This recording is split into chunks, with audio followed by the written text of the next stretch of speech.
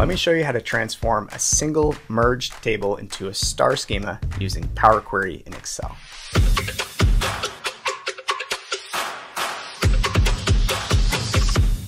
Before we get our hands dirty, let's talk about what we're doing here, which is something called database normalization. Basically, normalization is about organizing your data in a way that preserves integrity and eliminates redundancy. In other words, it helps make sure you don't screw up the data or store a bunch of stuff you don't need. Now, there are multiple forms of normalization, which we'll talk about later, but here's a simple example. This Excel workbook contains transactional records for a global retailer. We have information about each transaction, a unique ID, the order number, line item, order and delivery dates, and quantities sold, which is great. But we also have tons of columns containing things like customer demographics, store locations, and product details. Now, Excel users have a habit of merging data like this using lookup or index match functions. And it's tempting to do so because there's something very intuitive and comforting about having all the data in one convenient place. You can see it right there in front of you and explore it using familiar tools like worksheet formulas or pivot tables. But here's the problem. When you mash data together like this, you create a ton of redundancy and build solutions that just don't scale. For example, all of these columns here, which actually represent about three quarters of the data set, are an absolute waste of space. Why? Because all these details are dependent on primary keys. In other words, if we know the customer ID, we also know the gender, name, and address. If we know the product ID, we can figure out the product name, category, retail price, and so on. So instead of storing those same values and attributes over and over again, we can create separate lookup or dimension tables specifically designed to store and deduplicate that type of information. In this case, one dimension table would contain a unique list of customer IDs, along with any columns containing details about customers. Another would contain a unique list of store IDs with details about each store location, and a third would contain unique product IDs with information about each product. By doing this, we can remove those fields from our transaction table, keep only the key columns, and create relationships between them without writing a single formula. Better yet, we can do all of this within Excel's data model, where we can load and compress huge data sets without having to worry about worksheet row limitations. All right, enough talk. Let's fire up Excel and see if we can use Power Query to turn this table into a proper relational model. Alrighty, so I've got a brand new workbook here, and my first step will be to connect to our Excel workbook containing the merged table. So let's head to the Data tab, Get Data from File from Excel Workbook. I'm going to select that Transactions workbook and click Import. Excel's going to create that connection, fire up the preview pane, and here I can see the Transactions tab within the workbook with all of my data previewed right here. I'm going to click Transform Data to fire up the Query Editor. And here we can see all of that data that we previewed earlier. The transactional records, the customer details, store locations, product information, and so on.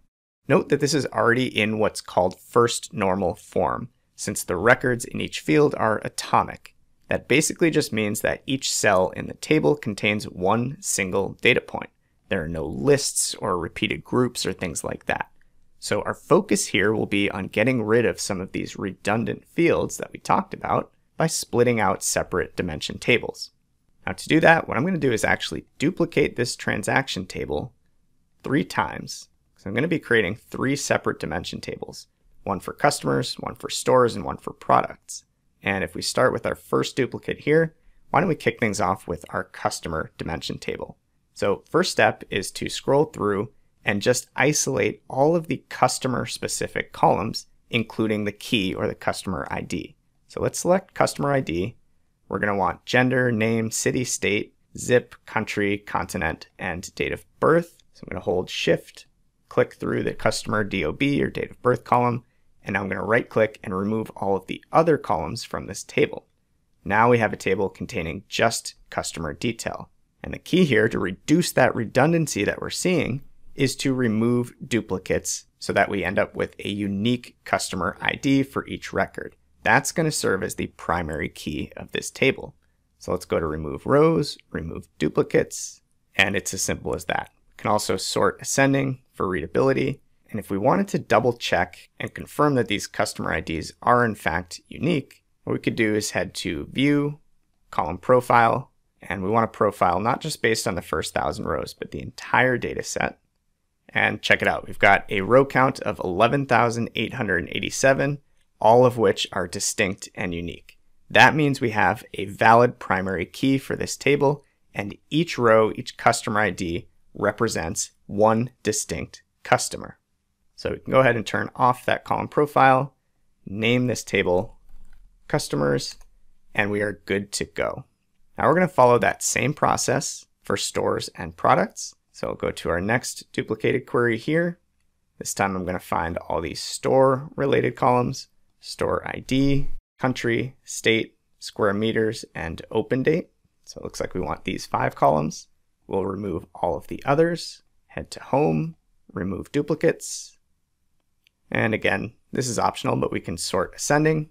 And now we can very clearly see that this retailer operates an online store and then a whole bunch of stores, looks like 66 or so stores across different countries like the US, UK, Netherlands, Italy, Germany, France, etc. So we've just deduplicated our store information and created our stores dimension table. Let's go ahead and name this one stores. That looks good. And we're going to do the same thing for products. So let's scroll over, find all of our product related info, starting with product ID. We've got a name, brand, color, cost, retail price, and then some subcategory and category level information too, which we'll talk about in a little bit more detail later on. So let's remove those other columns. Now we have a product table. I'll jump back to my ID, remove duplicates, sort ascending, and we are in great shape. So let's name this table products.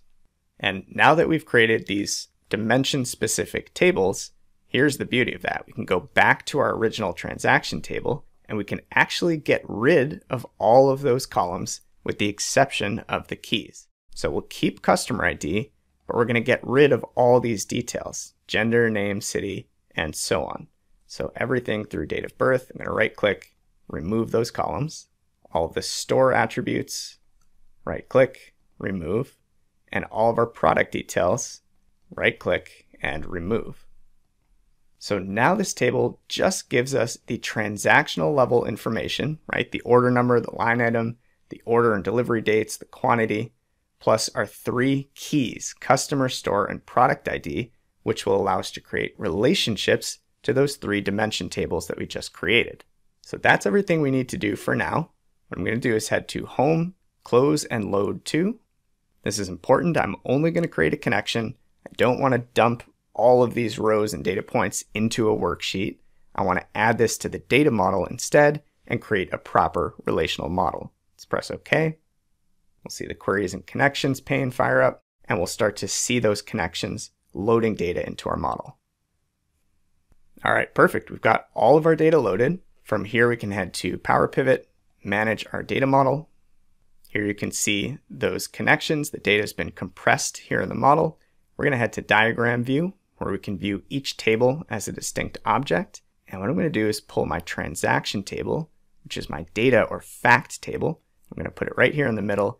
I'm going to kind of surround it by my dimension tables, customer, stores, and products. And now instead of writing all sorts of complex lookup or index match functions, all I need to do is select the primary keys from each dimension table and map them to the matching foreign keys in my fact table. So customer ID relates to customer ID, store ID relates to store ID, and product ID, you guessed it, relates to product ID. And what we've just created is known as a star schema, which is a very common database structure and often a best practice for many types of data analytics.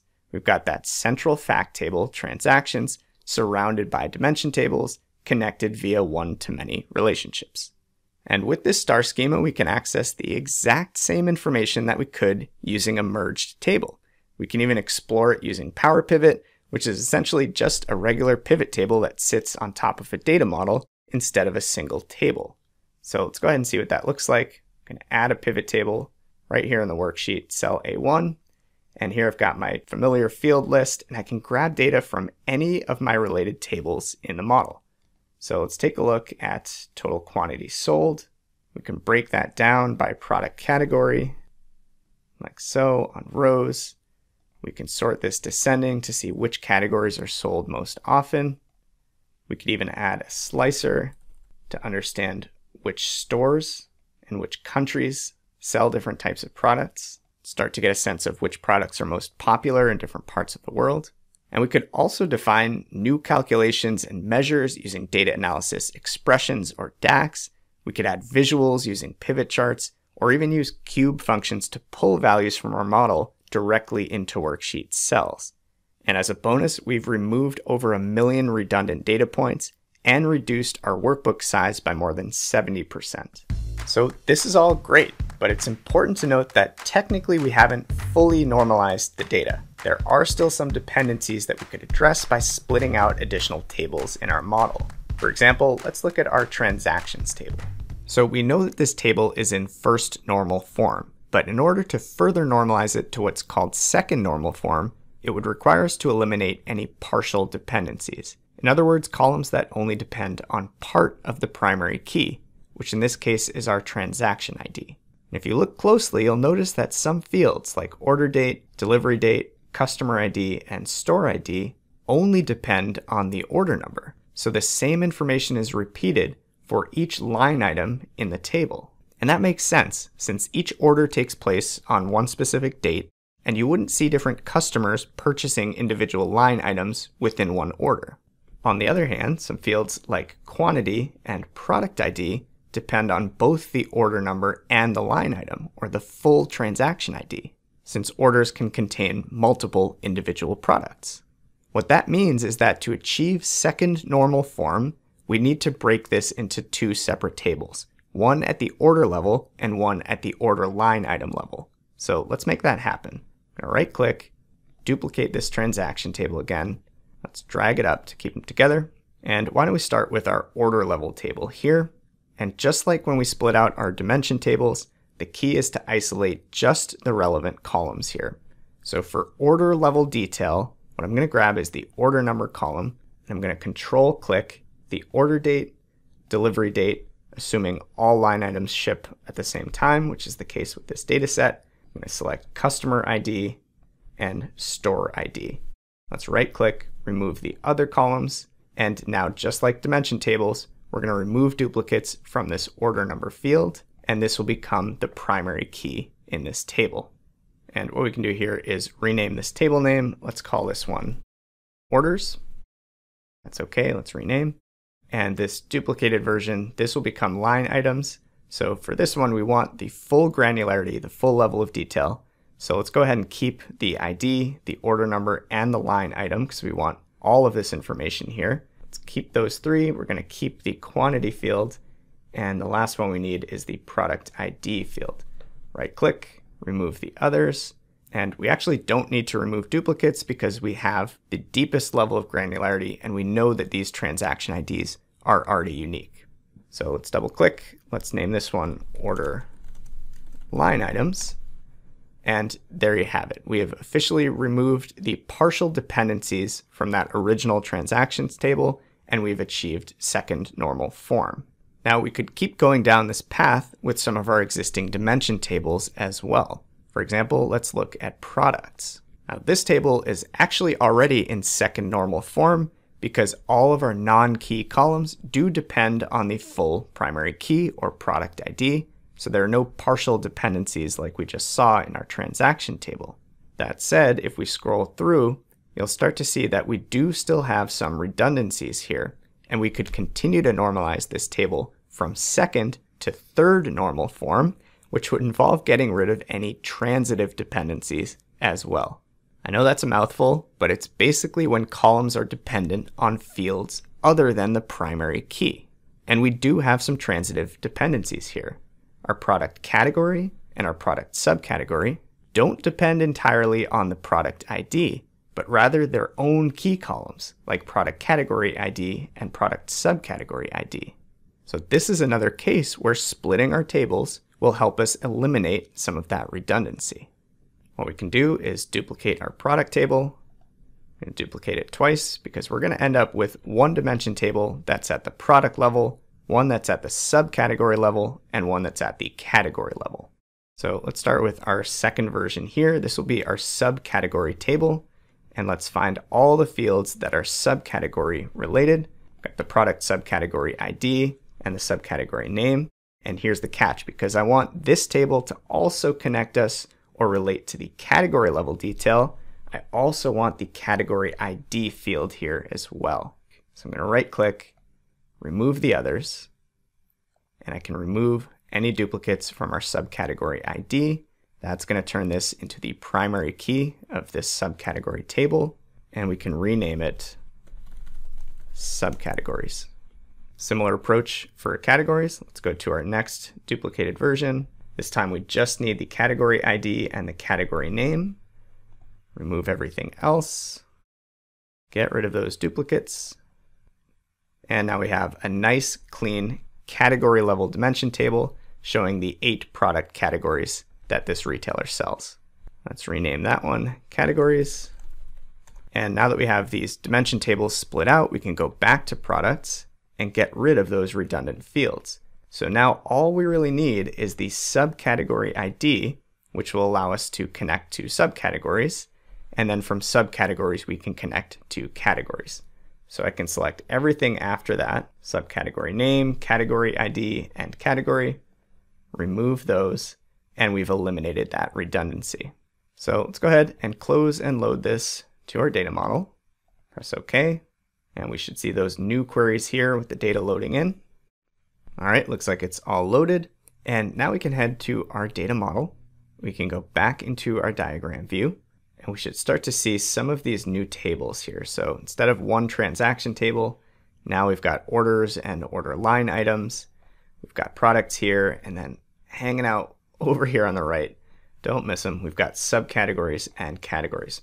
And you can see our relationships have gone away since we modified our model. So we basically just need to recreate or reconfigure our data model based on the new table relationships. So we know that the fields that were related at the order level were customer ID, like so, and store ID. Well, products connect to the order line item level. So that's where we find our product ID. We can also connect our distinct order number using a one-to-many relationship to the order number in our line item table.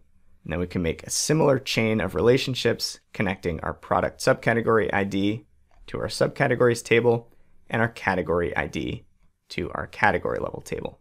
So as you can see here, our data model has become quite a bit more complex. We no longer have that nice clean star schema We've got snowflake schemas, which are basically just chains of dimension and subdimension tables. And we could go even further by normalizing our customer and store tables as well.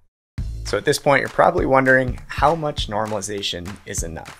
Do I need to eliminate every single redundant data point? Is there some universal standard or best practice? The short answer is no. The most important thing to keep in mind about normalization is that it's all about trade-offs. More normalization means better integrity, less redundancy, and smaller individual tables, but it also means more complex data models and therefore more complex queries, especially for multi-table analysis. That's why star schemas, even though they aren't usually fully normalized, are such a popular choice for things like BI reporting or exploratory analysis. Now, I hope that helps. If you'd like to learn more, check out the description for links to our self-paced courses, learning paths, and guided projects. And as always, make sure to like and subscribe for more data content just like this. I'll see you in the next one.